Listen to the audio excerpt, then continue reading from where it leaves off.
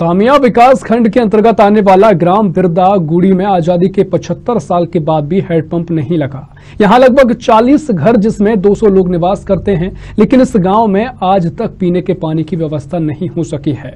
यहाँ लोग नाले, झिरिया का पानी पीने को मजबूर हैं। इधर पीएचई के अधिकारी का कहना है कि गाँव में तीन हेडपंप है, जिसमें दो हेडपंप का जल स्तर नीचे जा चुका है। वहीं पीएचई अधिकारी ने गाँव में भी एक हेडपंप लगाने की बात कही, जिससे पीने के पानी की समस्या का निवारण हो सके।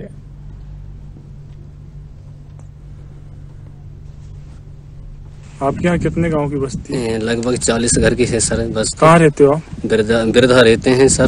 तो अभी आपको क्या दिक्कत है? त- तकलीफ़ कछु नहीं सर पानी के परिवर्तन बहुत कछु जा रहा है यहाँ पे।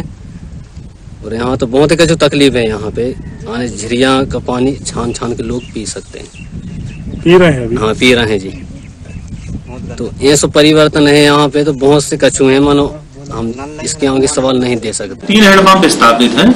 लेकिन उस ढाने से दूर होंगे तो उनको डेफिनेटली पानी लाने ले जाने में दिक्कत होती होगी और झिरिया का पानी वो ले रहे हैं ऐसा बताया गया है।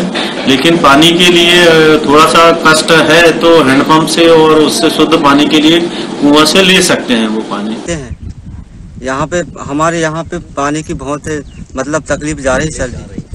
सर जी, यहाँ पे मतलब झिरिया वहाँ पे छना छना कर लेके जाते हैं हम लोग। वहाँ यहाँ हेडपम्प जी सर हेड पंप मेरे पास कोई चीज़ नहीं है सर जी यहाँ पे।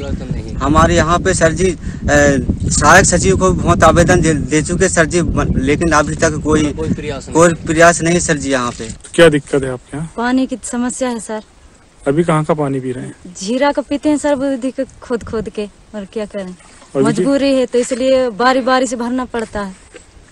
एक बार एक मकान वाले ले जा लेते हैं, एक बार एक मकान वाले ले जा लेते हैं। इसलिए इसी की समस्या है। रहने वाले गाँव छिंदिक से करीब 20 किलोमीटर दूर बिदरी गुड़ी में मौजूद है, जहाँ पे आप देख सकते हैं कि यहाँ के गाँव वालों को इस भीषण गर्मी में पीने के पानी की विकराल समस्या बन गई है।